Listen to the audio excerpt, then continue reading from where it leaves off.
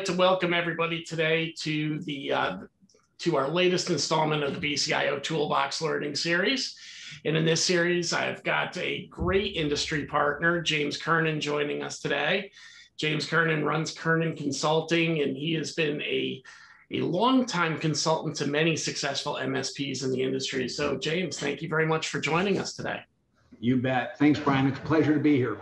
Awesome. Awesome. So, with that being said, as always, guys, if you've got some questions or answers, feel free, our questions that come up, feel free to put them into the Q&A area. If you would like to, uh, otherwise we will be having Q&A at the end of the uh, event today.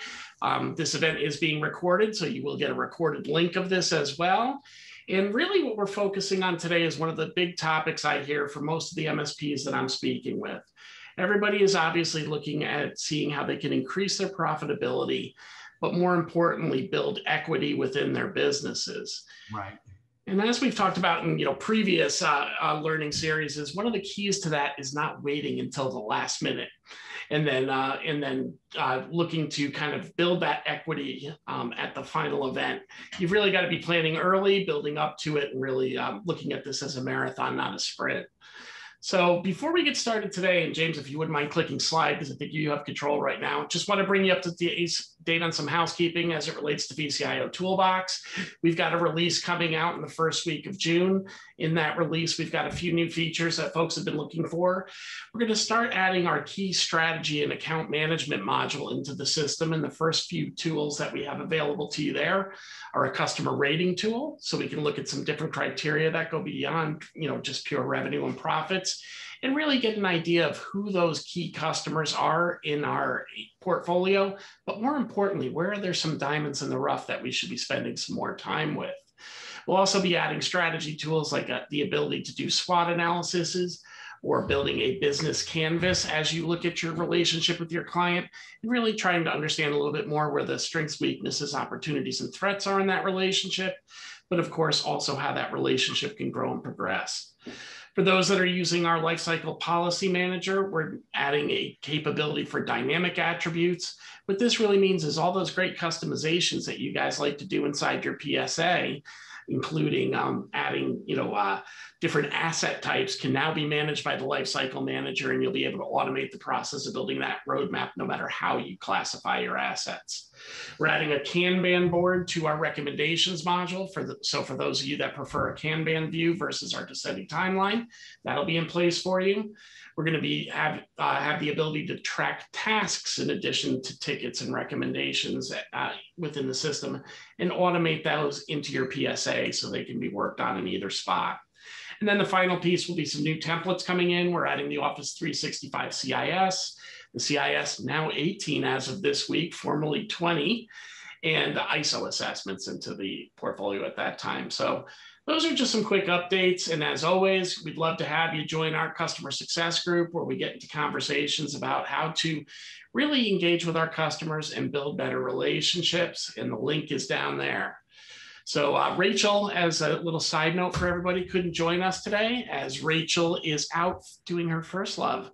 She is filming her own movie this week. So uh, we'll, there'll be some information coming in on the group on that, but she is doing a one woman movie about some of the trials and tribulations that females face. So I'm really interested to see how that comes out and, you know, encouraging her to speak more about it within the groups because, you know, it, it, it's good stuff. Yeah. So with that said, James, let's turn it to you and let's talk a little bit about, um, you know, how we can make our businesses a bit more valuable. Yeah. So great, uh, great segue, Brian. Thank you for that. Um, yeah, like you, I frequently am asked this question all the time. People want to build value in their business, but they try to do it when it's too late. Yeah. And today, what I'd like to do is walk through what I found to be the eight secrets, things that you can do today to really build value in the business, to make it worth more. Uh, and we should be doing all these things anyway. So I'm going to go ahead and just kind of dive in if I could. Sure, sounds good. I want to just talk a little bit about you know who I am. Uh, I I don't recognize many of the names out there, but I am a business coach. I've been doing this for over 15 years with Kernan Consulting. But like many of you, I used to sit on the other side of the desk and ran my own firm. And I started uh, way back, I think when it was black and white TVs, it feels like Brian. Uh, yeah, both you and I have a little of that going on right now, James, right? way back when, but uh, I first started off as a sales rep and quickly uh, became sales manager, and then grew into a selling uh, VP of sales. Uh, worked for a company up in Los Angeles. We grew from about 8 million to 32 million. Uh, they started having some cash flow problems. So I left and went aboard one of our competitors out of San Diego called Technology Integration Group, or it used to be the MicroAge of San Diego. Uh, but started with them as a director, became VP of sales, and actually one of the owners. I was one of the owners of the company, and we grew from 30 million to 315 million. So great track record there over that seven-year time frame. I learned a ton, uh, big picture wise. And then at this stage in the 2001 timeframe, Brian I was like, you know what, I'm going to go do this by myself. I'm tired of making gazillions of dollars for all the other partners because I was a minority shareholder in that other big entity. So I bought a small reseller that was struggling, ended up turning it around, grew it to 12 million, and ironically sold it back to my old employer. So uh, it's kind of funny, funny how that worked Life's out. a full circle, right? But uh, you know, I think that's a, a, similar starting story to many, right? We can we all know that we can do it better, and that's why we set out and chart our own course. right, right, exactly. So never burn those bridges if if you if you can. So I've been heavily involved in the channel my whole career. Served on six advisory councils uh, throughout that time frame. We won a lot of awards. Uh, was with a lot of very fast growth organizations. Kind of the biggest one was the number one fastest growing on the rising star list of CRN magazine. That was uh, quite an accomplishment. We're recognized in the business journals several years, uh, Inc. magazine, the Inc. 500, a couple years before I sold the business in 2006. Then 2006, I actually had a long non-compete, so that's kind of what really brought me into, you know, out of running my own MSP and moving into it being uh, coaching and consulting and I love what I do. I love giving back. I love teaching and helping um, helping you take your business up to the next level uh, in in many cases. But during that time frame, what's interesting is I've been involved, Brian, in over two dozen mergers and acquisition transactions. Uh, during my time frame, that was one of the secrets at Networks Plus. You know, when I bought the company, I bought another small company, kind of blended them in and then I sold it. You know, uh, so that uh, I had a lot of experience with that. Um, for those of you avid book readers, this is a great book to read. It, it's kind of interesting. I just wanted to share this with you, but a good chunk of my presentation is really built around this book called Built to Sell. Now, I read this book a few years back and it just kind of mesmerized me a little bit because he was really John's point in the book is your business is worth more money with you not working so much in the business. Okay. You've heard this before. You got to work on the business, not in the business. You know, I grew up in the Midwest. I have a strong work ethic, and it was like, no, you know, the harder I work, the luckier I get, and my business will be worth more. But his whole point is, you know, automate what you can. I'm going to walk through some of the tips that came out of the book and some of my own tips that I found but his point really is, um, uh, you know, you need to get out of the business to make your business worth more money. And I'll, I'll talk about that. Okay. So the eight tips, I'm going to start with the first one. And, um, you know, I always love that quote, you know, if you fail to plan, you plan to fail. And uh, early in my career, I don't know if I really agreed with that 100%, but I see it clear as day now. So every great business you know really needs to have a business plan.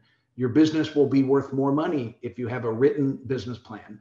And it doesn't need to be a 50 page document but it's really um, a lot of the clients i work with i just do a one page business plan to yeah. kind of get things jump started going and then you can grow it from there. But really you want to have a three year business plan that kind of paints the picture of what things are going to look like three years from now so I want to stop you there for a second, James. Let's talk a little bit about this. How do we get this from become, you know, moving from becoming a plan that be, gets written and then gets put in a shelf and never revisited, and actually put it into practice and actually follow that plan, right? Yeah, that, that's what I see often. You know, I'll see customers invest a lot of time into putting their plan together, and then when you ask where they are within their plan, they really can't tell you because they haven't looked at it in a while. Well, uh, some people spend a lot of money, time, and energy, and they build out this 50 you know page document with five year projections, and it's just an eye chart. It's expensive and it's a pain in the rear end to put together. Brian, our industry moves so fast. When when I broke off into consulting, one of the very first things I did was like, hey, I need to have a series of exercises that I can onboard and get people going. And one of the great tools was this one page business plan.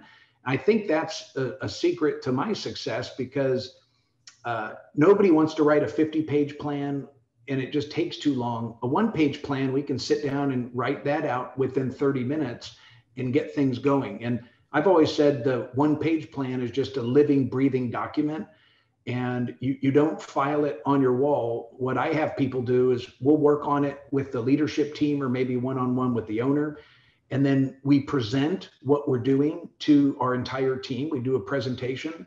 And then I ask them to pin that up on the walls because part of the plan it has your unique selling proposition. It has your mission or vision, your why. Why are you doing this? Uh, your motivation. And then it has your goals and your key objectives. And uh, I always joke around, it sounds like a lot of stuff to have on one page. Uh, the trick is just make your font really small. Yeah, exactly. Right. but uh, you know, I, I, think you know, there, I know there's a lot of folks on the call today that also subscribe to you know, kind of that EOS principle as well. And really, what you're talking about is kind of like the level 10 ma- meeting. You know, really keeping focused on what those objectives are and moving forward. Yeah. You know, I'm personally a big fan of um, the concept of the 12 week year by Brian, another book by Brian Moran. And really, what that gets into is really try to build little micro plans within your plan. Again, following kind of some of those EOS principles and instead of trying to, you know, come up with this objective that seems a little daunting, how are you going to just push the needle every quarter? Mm-hmm.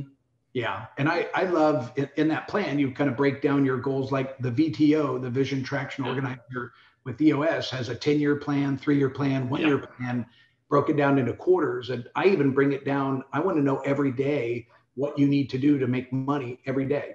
And uh, you put together a scorecard on that and then you can kind of measure your success and, and then move. But as an exercise i typically have uh, my customers that i work with we update that plan every year to answer your question.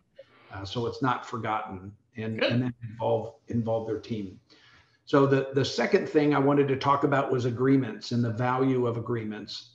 You know um, in the olden days, a lot of a lot of organizations like, oh, we don't need an agreement. You know, we've been customers for a really long time, and agreements make your business worth more money.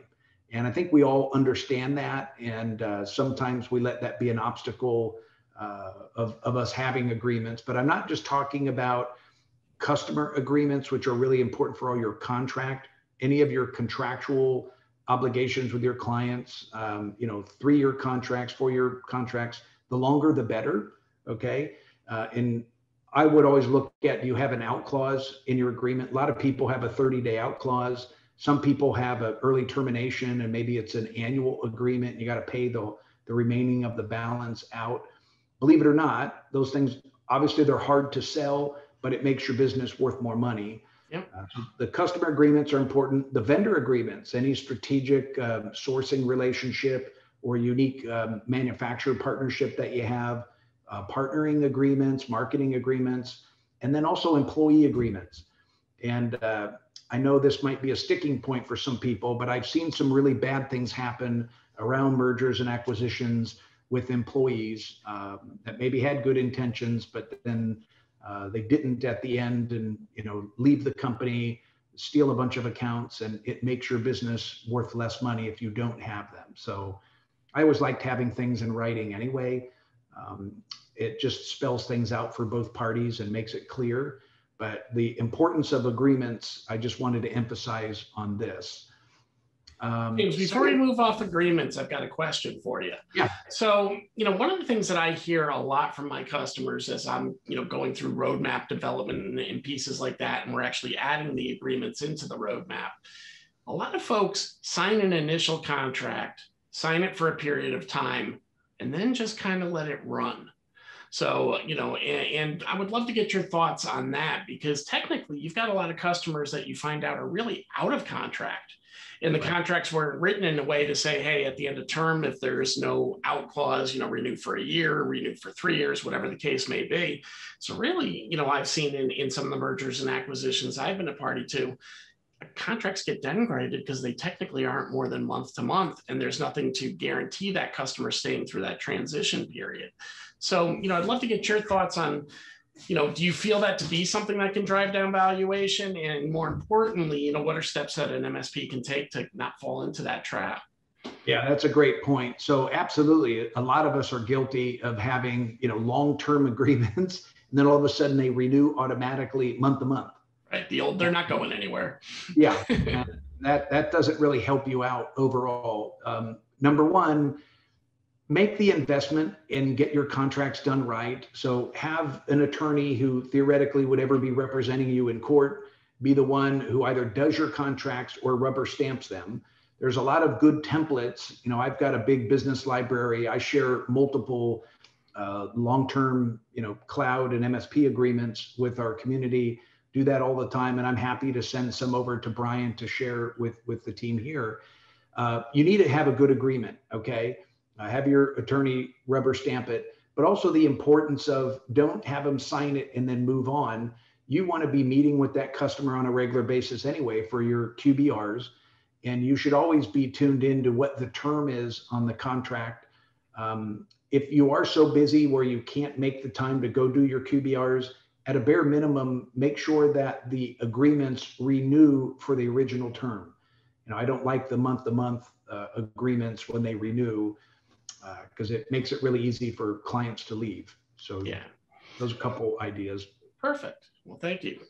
You know, I agree with uh, with that. You really got to keep that engagement approach, and even if you've got a good relationship, you've got to look at it from the standpoint of relationships end things change, dynamics change. So you want to make sure your interests are covered, especially if you're getting within the you know the three year period before an acquisition, especially. Yeah. And one other point to that most sales professionals or business owners, when they're trying to sell a long term agreement, they're like, oh, they're, you know, it, it's not a negative, it's a positive. And you got to present the benefits of long term agreements like, hey, we're going to lock in your pricing for the next 36 months that's good news. I can't raise our prices regardless of what happens. So, um, you know, that. Yeah, or, yeah, or tie it the story we tell for those that are vCIO Toolbox subscribers. Hey, we, we have to execute this plan together. You know, we, we you know we put this roadmap together with a forward-looking plan to make sure we get from point A to point B. Just like that roadmap, we need a contract that supports that capability as well. Right. Yep. So the the third point I wanted to bring up, Brian, is is the uh, the one core service. All right. So many MSPs have got a dozen, you know, half a dozen core services that they offer. You know, we do voice, we do cabling, we do AV systems, we do managed services, we do security, we do the, and the list goes on and on and on. And next thing you know, um, you know, they do everything, but they're not the master of one core competency a, key point in the book, and I agree with this to a certain extent. You want to have one service. I always call it, you know, what's the one core service that you're going to be the best of the best in your local geography? And maybe today that's cybersecurity. You know, maybe it's true managed services. Maybe it's disaster recovery and, and backup solutions. So you pick what that core competency is and you focus on that, but you also can have complementary services. So I'm not saying just have one core service. I'm saying have one core service that you're a rock star in, and then have complementary services that will help bring leads in uh, around that core service. But if you've got a core service and a good reputation and you're known to be one of the experts, you can always charge more. Uh, you can always hire the best talent. Uh, you'll make more money by having uh, a, a core service that you're really, really strong with. Does that make sense? Yeah, you know it does for my seat because some of one of uh, my competitors here. I'm based in Connecticut for those that don't know, and, and one of my competitors when I was an MSP here that really had one of the biggest growth trajectories. They didn't take the appro- approach of verticalization or anything like that. They really focused, and at the time, this was a core need networking, right? They yeah. get way they went deep and narrow on networking. And their thought process was look, at the end of the day, servers are servers. These things need to be done. But if I try to be everything, it won't be there. But good networking competency seems to be difficult.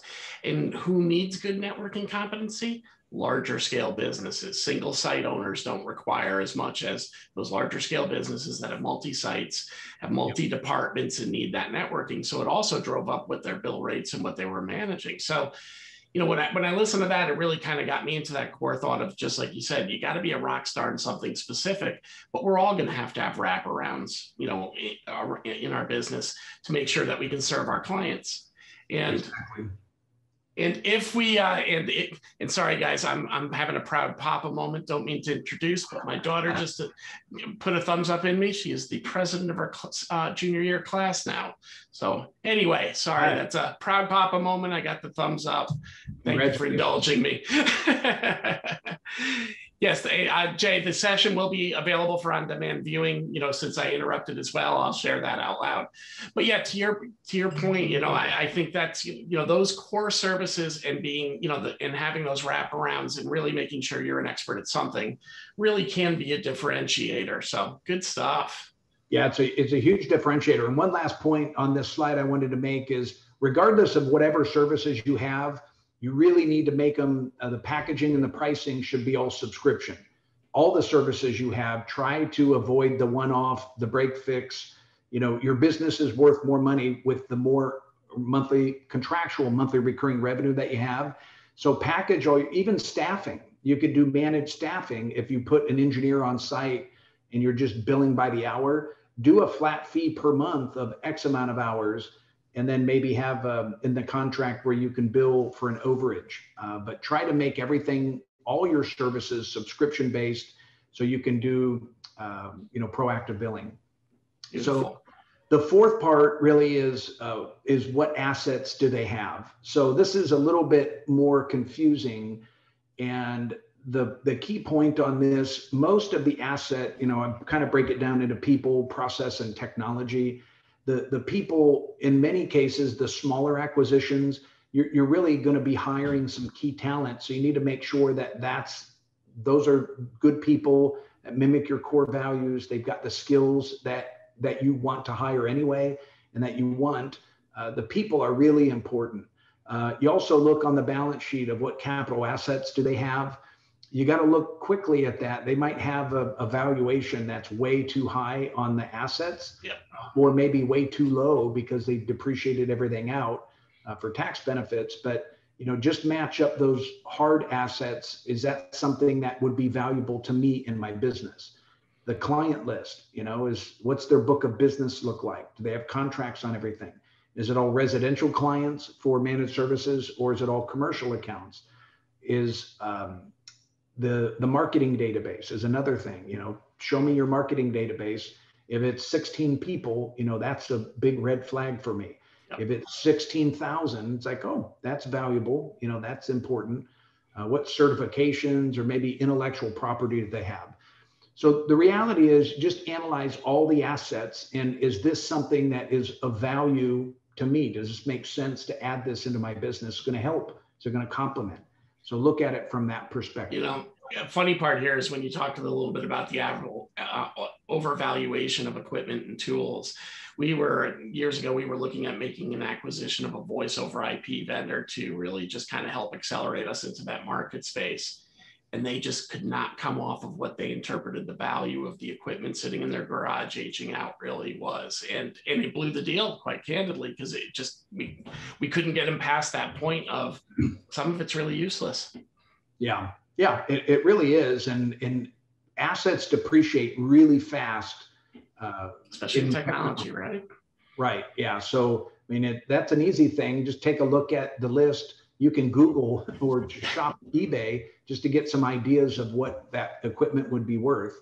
Uh, but that's a, a, quick way of kind of figuring things out. So the, the fifth part is uh, clean and accurate books and accounting. All right. I, I can't tell you how many times I've come in and start working with the client and their books are way outdated or miscategorized or they're just wrong. And uh, nothing turns off a buyer faster than when you demonstrate, you know, incorrect books or outdated books and that you're way behind.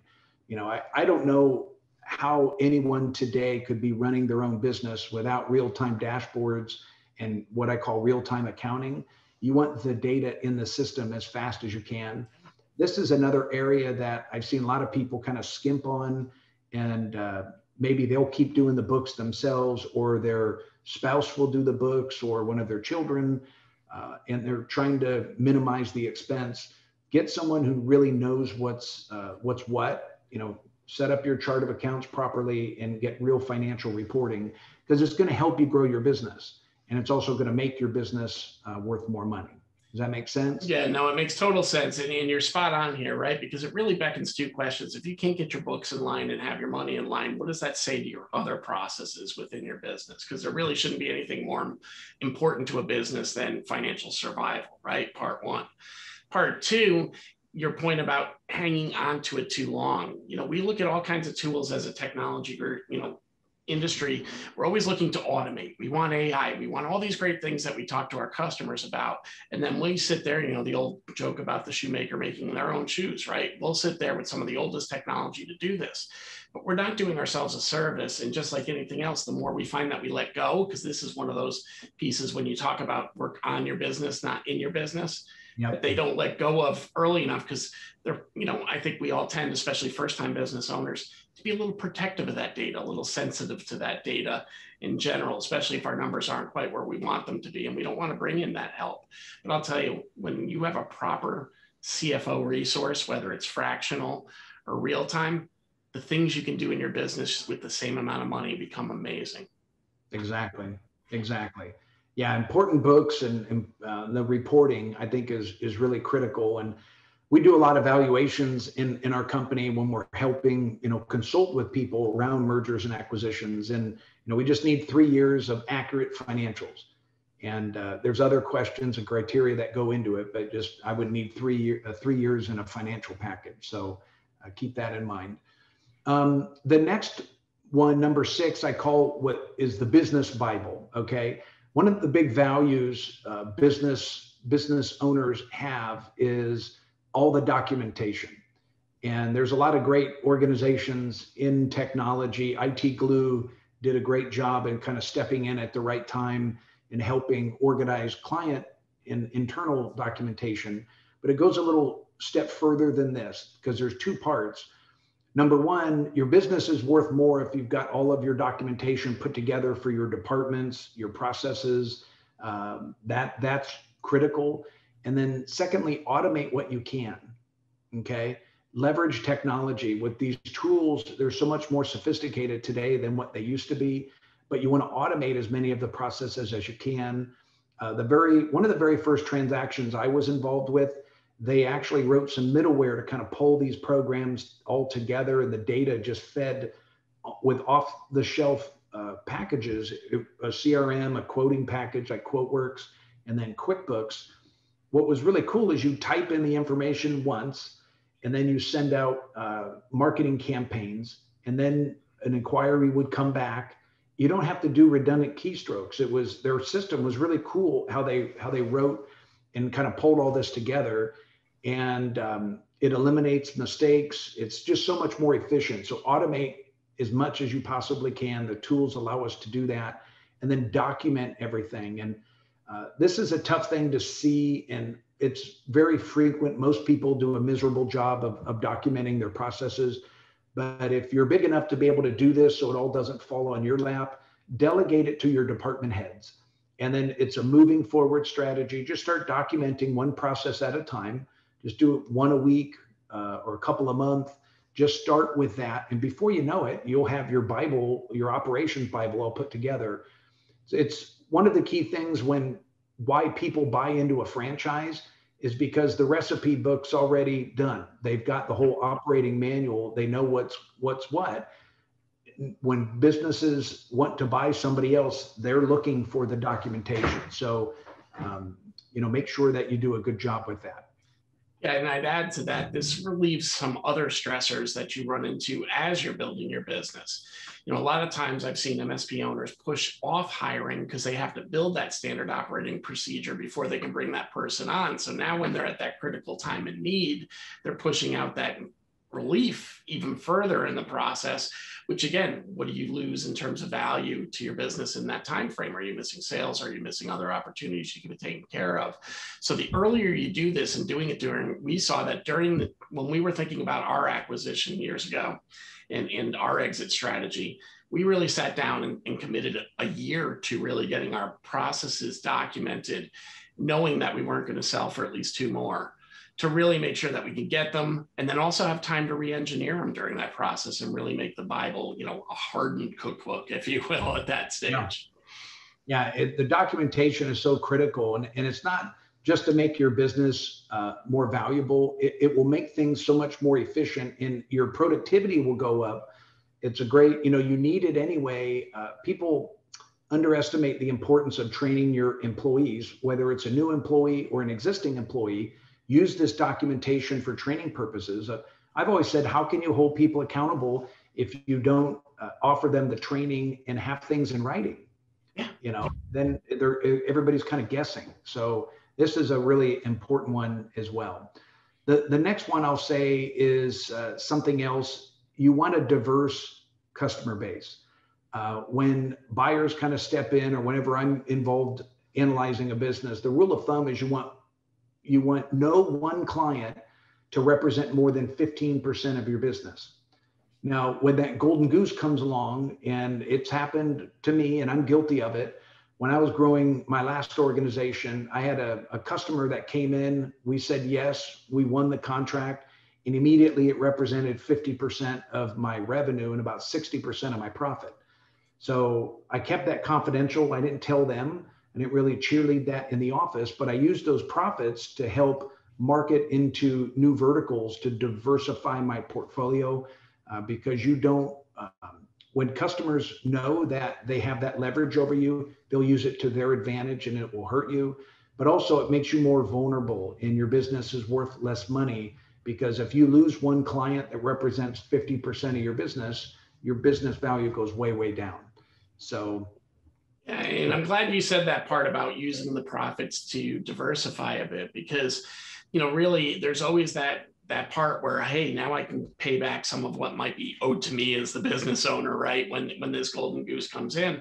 But the reality is you do need to use that to try to expand out because it is a risky place to be not only just because of the profit and revenue potential but those types of companies have even less control on their destinies than the small to mid-sized companies you know, um, we when I was a hired gun after um, after my acquisition, I uh, I was working with a firm that had, you know catered to the enterprise space, and a merger happened to two large Fortune 1000 companies, and we saw seven million dollars worth of revenue go away in less than 30 days. Yeah, yeah, that's uh, that's sad. That's sad. You don't want that yeah. to happen you know, fortunately, we were diversified enough; it didn't kill us. There were some layoffs along the way that were direct result of it, but the the point was, it really can be a challenge. So you do have to have that that mix here, and um, you know, for those that are verticalized too, you want to probably keep a little bit of an eye on what the the vertical trends too because right. if that vertical is a shrinking vertical for some reason or just like we experienced with covid over the last you know 12 to 15 months if it's a vertical that could be exposed to a pandemic or some other regionally based kind of calamity that's that's a concern too right? You know i've, I've got a couple clients that were very hospitality and entertainment focused and while many msps were growing in 2020 um, it was a lean year for some. Yeah. Yep, exactly. That's a great point on the vertical side deliberately when that last company that I ran, we diversified our portfolio not just with the accounts, but in the verticals that Brian was hinting at. And normally there's cyclical buying patterns. You know, a lot of commercial accounts do a lot of buying, you know, Q3, Q4. Education is a heavy Q2. Their fiscal year ends the end of June. Government, their fiscal year end the end of September. So that's big. A lot of spending in Q3 uh, we started off doing a lot of business with education and government, and I wanted to kind of keep in a level playing field. I wanted, you know, growth like this, not like this. And when you're financing your own business, cash flow is king. Uh, so you you need that um, that cycle, you know, not to be annually uh, hurting you, but month over month, you want to be able to grow. So now, maybe maybe shift around there for one second on that, James, before we leave that topic. If you were in the buyer's seat, there's probably, you know, you're looking at how to hedge your risk in this acquisition as well. And you've probably already got a number in your head that says, hey, there's a certain amount of customers that we're either not going to choose not to retain from this purchase once we do in there, or we know we're going to walk away. And if you can really make that a much more linear equation, that, that provides a little bit less in the buyer side of it and could earn you a few more goodwill dollars if that's where you're trying to get towards the end of that sale. Would you agree with that statement or you feel I'm off base on that look? No, I completely agree. Uh, really, the only example I think is just a, a real blunt one that would fit would be if if all of your managed clients are all commercial accounts, but you're looking at buying someone and all their managed clients are residential. And they they charge $75, you know, or an hour, yeah. and you charge $150 an hour, you know, that that's not a fit. You that those two customer uh, bases are not going to blend well together. Yeah, that's probably a whole topic we could talk about for a while too. Because when you look at acquisitions, if billing rates don't line up, if skill sets don't line up, there's other risk that goes beyond the pure how do we meld these companies together and cut some cost, right? Exactly, exactly. So, and and I, we're in the people business. It's a great quote from Jim Collins. Um, people are not your most valuable asset. The right people are, right? And and Brian, I know you're a big traction fan, and it's all about having the right people in the right seats. Yeah. Uh, but you want to make sure I used acquisition for our benefit and help line of clients. One of the biggest assets are the people. And uh, that's really one of the key things I was always looking at, uh, especially the smaller ones. You know, we've done a lot of distress scenario uh, acquisitions um, as well. And so that's really the next one the right people in the right positions. Uh, people do business with people. And, you know, you want to have the right people in your business. Um, Brian, I don't know if inside the community, if you've done any kind of vision planning or core values planning, uh, if you've had any of, of your customers do, uh, you know, educate them on, on that of the importance, but it's, it's all really important of the culture. And normally the culture of the business starts with the owner, the leadership team, and it's a, a mere reflection of the core values of me personally will be what my business will look like. That's normally what happens. And you need to protect that culture. You know, one bad apple can ruin the bushel, so to speak. And you want to make sure you're using your core values as guiding principles to make decisions on who you're bringing into the organization.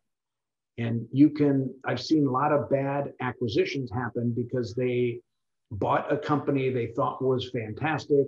It looked great on the surface, but it had a lot of bad people and it crushed their culture and hurt their culture. So uh, you want to make sure that uh, there's the right people, the right skills, and you can always develop people with training. We do a lot of training at Kernan Consulting. I have a sales certification program, a leadership training program.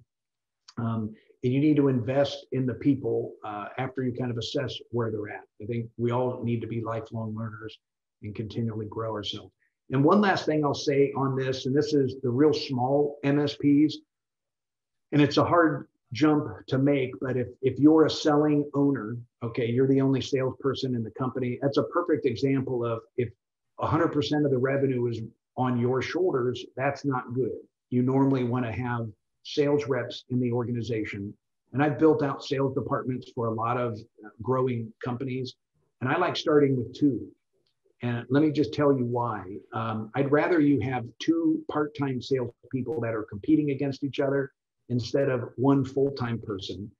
And, you know, salespeople require a lot of energy. You know, engineers and most MSP business owners are technically minded.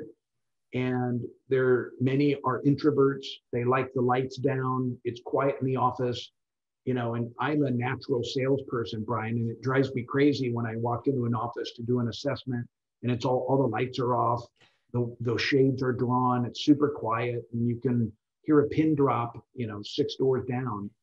Um, you know, salespeople are the opposite. They like lights on, they like noise. It's energy that keeps them motivated yeah. to pick up the phone, make calls. It's all about activity and meetings. Uh, but you want the salespeople competing against each other. So comparing the number of calls, number of meetings, and quotas, right? I've been a big believer in the hire two too, because they also have to have people to commiserate with. It's difficult to be the only salesperson in that fishbowl, right? Because when you really think about our our role in that, it's based on rejection, right? So here you're in a sea of people that are really appreciated for what the skill sets are that they bring in, in you know moving things and sometimes they can't connect the dots between the salesperson's role in the business. You know they'll be like hey you know i don't know if james is a really good sales guy because all i ever hear is no over there not knowing you, you got to have 10 no's to get to the 11th yes that that is the one that drives the bus and, and you know brings in the revenue. So really i love the comp- competitive aspect of this because truly you know nobody wants to be the worst salesperson on the sales team especially if it's only two. And then the uh, and then the other part of it being you know they, they need that support system because as you and I have discussed offline many times, you know, technical ownership they're learning the sales management process and what that's all about as well. So it's tough for them to understand is this working, is this not, if there's not other people kind of that you can benchmark against. And even if it's just the other rep you got, it gives you a little sense of, okay, well, they're both having the same struggles. So that must be sales as opposed to that's just Jim. exactly, exactly. No, that's well well said. So, and then just kind of to round things out, those were the the eight core things I wanted to talk about. You know, the five other big ideas I just wanted to share, and we'll wrap up. You know, one, you should always uh, run a company as if it will last forever. So the decisions that you make, uh, need to be long-term ones. And again, you try to pull yourself out of every single process. You don't want to be the bottleneck in your organization. Again, your business is worth more money with you working less in it, if that makes sense. Yeah. Try to package all your services as um, as subscriptions that you bill automatically. Uh, you know, that's one of the first goals I always set with people that I work with of, you know, what's your monthly break even of all your expenses? Okay, it's $40,000. Well, that's our MRR goal. Now, would it be great on the first of every month to have $40,000 just drop into your bank account, pays all your fixed expenses, and everything else is just gravy of new accounts and projects and things like that. So that monthly recurring revenue is critical. Um, I've talked about, you know, your business running without you. I think working on the business, not in the business. Focus on one thing, one core service that you want to be famous for, and really put a lot of time and energy into that. Um, we talked about that and how important that will be, and that will make you unique and stand out and justify of, of being able to uh, charge higher rates. And then uh, lastly, make make sure no one client makes up over 15% of the business. And we, we talked about that.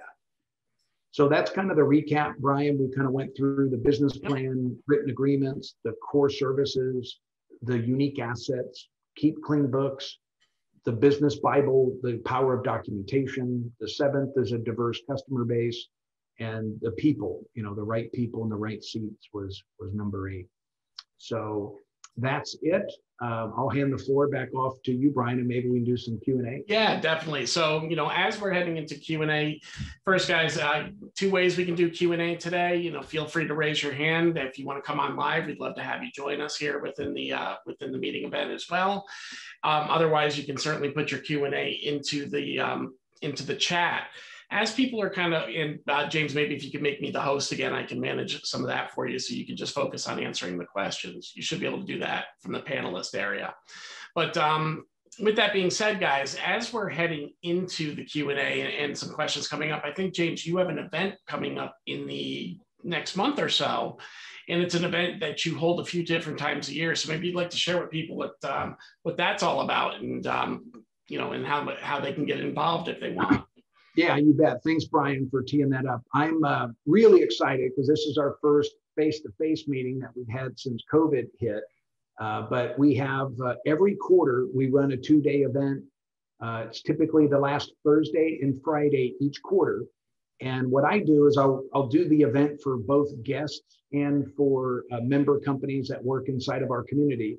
And the member community all gets up and does 10, 15 minute presentations on what their business, the good, the bad, the ugly, you know, what went well, what didn't go well, and what their goals were and how they delivered.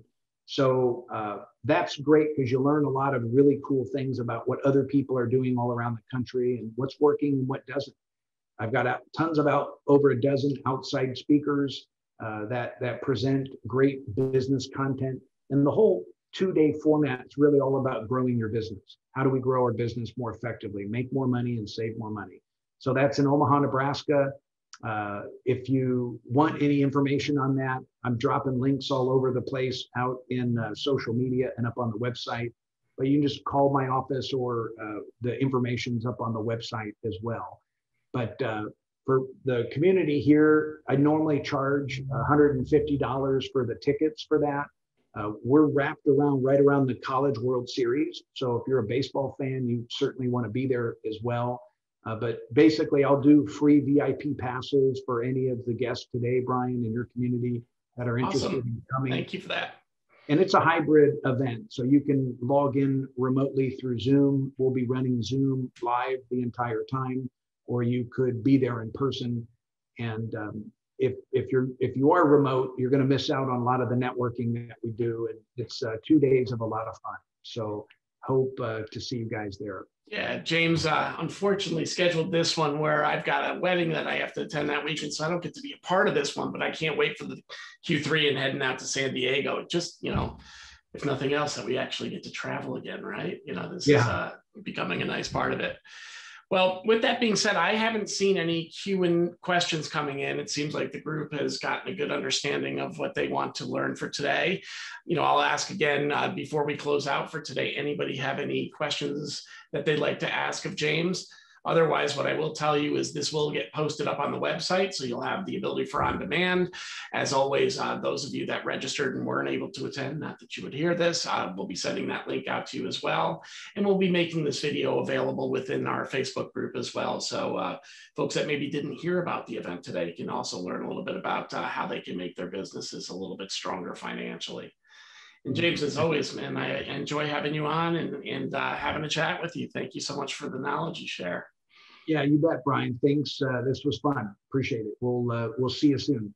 All right. To anybody else, uh, if you want to reach out to James, along with those videos being uh, left there, we will post up his LinkedIn profile as well.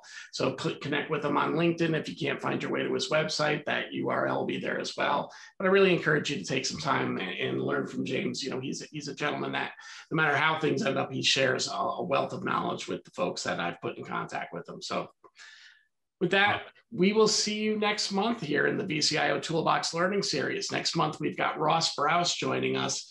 And Ross is a, a vCIO Toolbox customer that has also been really crushing it with video of late. He was actually one of the five participants for the Aston Martin last week in Robin Robins Technology Toolkit uh, group. So he's going to help us get over our stage fright and become better video people. So we look forward to seeing you next week. And James, thanks again for joining us today. You bet. Thanks, Brian. Take, Take care, care, everybody. Bye now.